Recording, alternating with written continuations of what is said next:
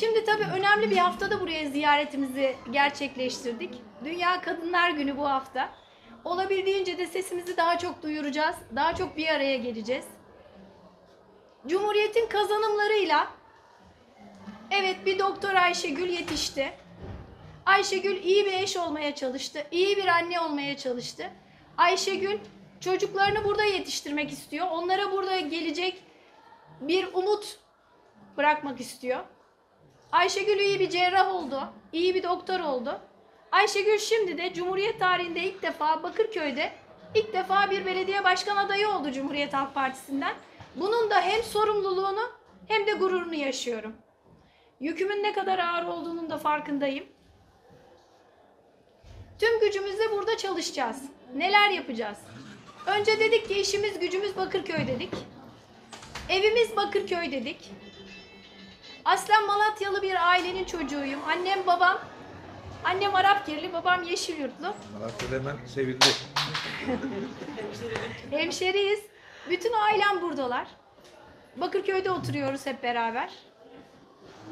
Babam da çeşitli kademelerde belediyede 72 ile 2000 yılları arasında görev aldı. İnşaat mühendisi. Aynı zamanda da 2004'te seçimlerde Bağcılar'dan belediye başkan adayıydı Cumhuriyet Halk Partisi'nden. Böyle de bir siyasi geçmişimiz vardı. Ama ben bütün hayatım boyunca hep devlet memuru olarak çalıştığım için herhangi bir siyasi üyeliğim yoktu. Ama tabii ki siyasetin içinde büyüdük. Aynı zamanda da bu belediyecilik ortamında büyüdük. Her şeyi Hep biliyorsun. böyleydi. Hep böyleydi. Hayatımız da böyle geçti. Ve biz hem akademik anlamda hizmet verdik, bir sürü asistan yetiştirdik, bir sürü tıp fakültesi öğrencisi yetiştirdik. Aynı zamanda da binlerce ameliyat yaptık. 150 bine yakın hastanın hayatına dokunduk. Burada hizmetimizi verdik. Bakırköy Masar Osman'da. Çok başarılıydık, çok iyi motive oluyorduk ve gerçekten çok çalışıyorduk. Cerrahpaşa İngilizce Tıp Fakültesine yine dereceyle girdim. Bu tabii ki hani azmetmek ve kararlı olmakla ilgiliydi. Hiçbir zaman efendim eee, dur, yapma, olmaz bunları hiç dinlemedik. Hep yolumuza devam ettik. Bütün gücümüzle beraber de çalıştık. Şimdi burada Bakırköy'e neden belediye başkanı adayı olduk? Maalesef görüyorum bu kadar eğitimin içerisindeyim. Bu kadar zor bir işi yapıyorum. Bu kadar zor bir işin de hocasıyım. Ama maalesef maalesef benim yetiştirdiğim öğrencilerim, asistan arkadaşlarım, eline bıçak verip ameliyat yapmayı öğrettiğim arkadaşlarım maalesef yurt dışında bir takım alternatiflerin peşine düşüyorlar. Maalesef burada çok efendim parlak bir gelecek göremiyorlar. Burada ailem, çevrem hep beraber otururken fark ettiğimizde hep aileler çocuklarını yurt dışında bir gelecek planlıyorlar. Ama biz bu çocuklarımıza sahip çıkalım. Düzgün bir gelecek burada onlara da bir alternatif olsun istiyoruz. Burada ilk problem, ilk yapmamız gereken, hocamla da az önce aynısını konuştuk. Çok eski köklü bir okul burası. Depremden sonra yenilendi bu okul. Bu ve bunun gibi ilçemizde bulunan bütün okulların depreme karşı güvenliği konusunda ilk yapacağımız işler arasında bunlar kentsel dönüşüm yer alıyor. Burası çok güzel bir konumda. Çok güzel, layığıyla bir liseye yakışacak şekilde geniş bir bahçesi, geniş bir ortamı, efendim çocuklarıyla beraber bir pilot okul şeklinde aslında değil mi hocam? Anadolu Lisesi ama aynı zamanda da diğer okullara da örnek teşkil edecek bir takım işbirlikleri içerisinde hareket ediyor. Bizim burada geldikten sonra ilk yapacağımız iş en temel vatandaşlık hakkı olan can güvenliğimizi sağlamak. En önemlisi bu bizim için. Benim çocuklarım evde başuçlarında düdükle yatıyorlar. Bana da başucuma bir düdük bırakmışlar. Anne deprem olursa efendim birbirimizi bulalım karanlıkta üflersin diye. Çünkü okullar, televizyonlar hep aynı şey. Bizim ilçemiz en riskli. Fatih'ten Silivri'ye kadar İstanbul'un en riskli bölgesi. Tabii son 20 yılda neler yapıldı? Maalesef bizim buradaki eee, binaları yenileme olsun, kentsel dönüşüm açısından bakarsak da maalesef istediğimiz noktada değiliz. Bu tekrar yine benim niye siyasete girdiğimle de çok ilişkili bir durum.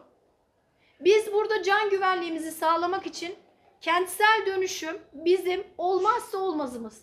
Biz burada bununla niyet edip yola çıkacağız. Biliyoruz birçok akrabamız, eşimiz, dostumuz bu ilçeden uzaklaşıyorlar. Yeni evlere gitmek istiyorlar. Deprem riski zemini daha kuvvetli yerler arıyorlar. O arayış içine girdiler. Ama biz ilk günden itibaren bütün projelerimizle, bütün yapacaklarımızla ve son derecede teknik açıdan Ali Rıza Başkanım da buradan mezun. Meclis üyesi adayımız. Birlikte çalışmaktan gurur duyduğum arkadaşlarımla Caner Bey şehir planlamacısı. Ali Rıza Bey inşaat mühendisi. Mimarlar Odası Başkanımız Mustafa Fazlıoğlu Beyler. Bizim ilk 100 günde yapacaklarımız belli. Birinci yılda yapacaklarımız belli. Beşinci yıla kadar da tamamlayacağımız işler belli. Hepsi bir plan proje dahilinde insanların hayatlarını kolaylaştırmak için, onların mağduriyetlerini en aza indirmek için kentsel dönüşüm ofislerimizi kurarak gerekirse her mahallede ya da 2-3 mahallede bir kentsel dönüşüm ofislerini kurarak insanların şu kafasındaki güvensizlik, eee, bir takım endişeler, mağduriyetler bunları minimuma indirerek çözüm odaklı çalışmak. Bir, öncelikle belediyemizde deprem müdürlüğü kuracağız. Bu olmazsa olmamız, olmazımız. Muhakkak o depremde kriz anında nasıl bir koordinasyon sağlayacağız? İlk 100 günlük projelerimiz içerisinde bu mahallelerimizde bulunan konteynerlarımız tekrar bunlar bir revizyondan geçecek ve anahtarları bir kişi değil birçok kişinin bildiği ve ulaşabileceği. Çünkü o anda kimler hayatta kalacak, kimler hayatta kalmayacak maalesef onu göz önüne getirmek istemiyorum ama bunları düşünmek zorundayız. Ardından da bu acil durumlarda bize yardım ulaşım yollarında o ulaşım yollarını kapatması muhtemel. Riskli 15 tane binamız var. Bunların bir an önce tekrar yeniden yapılanmasını sağlayacağız. Ardından da parça parça parça parça mahalle bazında bu kentsel dönüşümü hayata geçireceğiz. Evet bizim burada bulunduğumuz mahallemiz ve bunun gibi Cevizlik, Zeytinlik, Yeni Mahalle, Osmaniye, Sakız Ağacı, 7 mahallemiz artı bir kat vererek bu kentsel dönüşümü burada tamamlayacağız. En iyi şekilde, en huzurlu şekilde. Evet bir takım kira destekleri de olacak. Gerek İstanbul Büyükşehir Belediyesi'nin gerek merkezi hükümetten de bir takım hibeler ve yardımlar da olacak. Ve biz bu noktada yerel yönetimler konusunda tamamen bir garantörlük noktasında insanların da kafasında soru işareti bırakmadan insanların huzurla rahat bir şekilde yeni evlere geçmesini sağlayacağız. En önemli olmazsa olmazımız bu. Bizim büyük şehirde 5000'lik planlar hazır. 2022 yılından beri uygulamaya konulmayı bekliyor. Maalesef meclis çoğunluğu Cumhuriyet Halk Partisi'nde olmadığından ve bu işte meclis kararı çokluğuyla alınması gereken bir karar olduğundan biz bunu önümüzdeki dönemde en iyi şekilde en yüksek oyumuzu da alarak orada hayata geçireceğiz. Ha elbette öyle ya da böyle her zaman da takipçisiyiz. Biz yerel belediye olarak bu senin sorumluluğun, bu benim sorumluluğum diye, o benim işim değil diye davranmayacağız. Neden evimiz Bakırköy diyorum? Evet, burası bizim evimiz, benim evim. Ben burada 115 tane parkı o ilk 100 gün içerisinde her birini teker teker elden geçirerek pırıl pırıl çocukların orasını burasını yırtmadan, kanatmadan oynayabileceği hale getireceğiz. Bunlar bizim ilk etapta yapacağımız şeyler. E diğer taraftan bakalım bu liseden kaç tane sanatçı yetişti öyle mi hocam? Çok. Ne kadar kıymetli sanatçılarımız var. Evet bu sanatçılarımızla sanata ağırlık vereceğiz. Kültür faaliyetlerimize ağırlık vereceğiz. Spor faaliyetlerimize ağırlık vereceğiz. Bunun için kaynaklarımız var. Hepi topu zaten 220 bin nüfusuyla yaşadığımız bir ilçe. Giderek küçülmüş.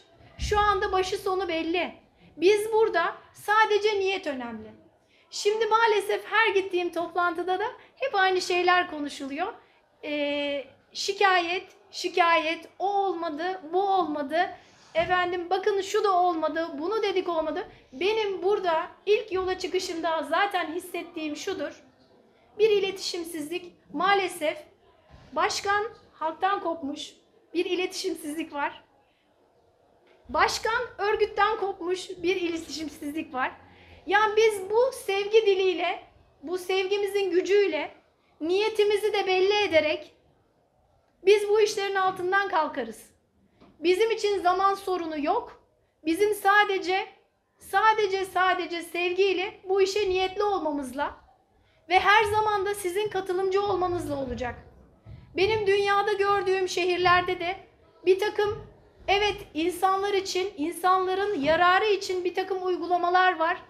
Modern şehircilik anlamında, modern kentsel yaşam anlamında. Çünkü biz burada sadece çalışmaya gelmiyoruz. Öyle böyle bu hayatı sonlandırıyoruz. Başı belli, sonu belli ama mesele burada zevkle, keyifle evet bir hayat sürmek. Benim niyetim budur. Her zaman katılımcı fikirlerinizle yanımızda olun. Tek isteğim çocuklarımıza sahip çıkalım. Çok güzel eğitelim. Onları bir dünya insanı olarak yetiştirelim. Ama unutmayalım ki burada, bu memlekette de onların bir geleceği olsun. Bütün niyetim budur. Ben şu anda Ayşegül olarak bayrağı devralıyorum.